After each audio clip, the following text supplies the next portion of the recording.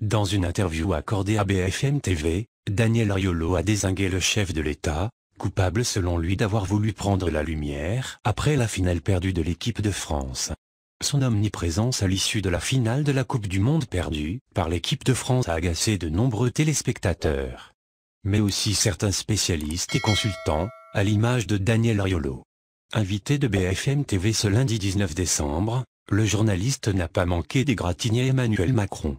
Selon lui, le président a cherché à être sur tous les plans après le match, notamment lorsqu'il a passé de longues secondes à tenter de consoler Kylian Mbappé devant les caméras. Je veux bien qu'il soit passionné et, dans un premier temps, ça peut même faire plaisir à ceux qui aiment le foot. Mais à la fin, sa volonté d'occuper l'espace en permanence, c'est presque devenu un peu lourd, a regretté le compagnon de Géraldine Maguet en préambule. Qu'il aille consoler Kylian Mbappé une fois, ok, mais il était toujours derrière lui.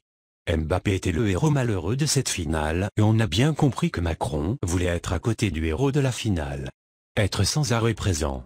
Je ne sais pas s'il s'était mis d'accord avec le réalisateur, mais on avait l'impression qu'il avait envie d'être sur tous les plans.